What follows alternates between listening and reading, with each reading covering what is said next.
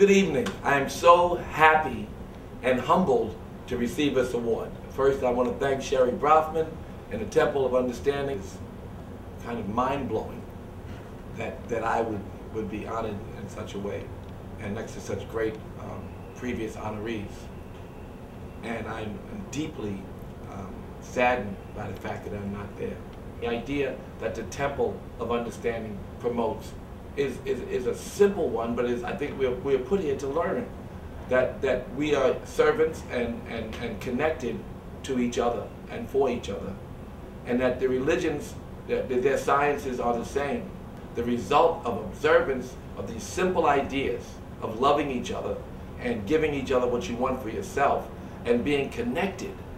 I try to teach young people that it is possible in this time, lifetime to be enlightened, to be connected.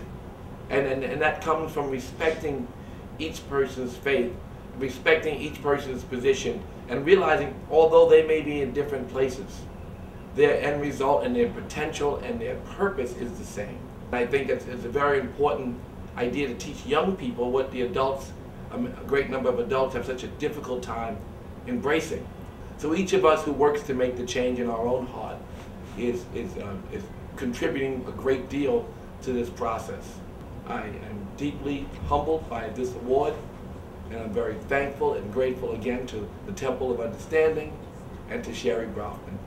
So enjoy your evening, and thank you so much for this very wonderful award.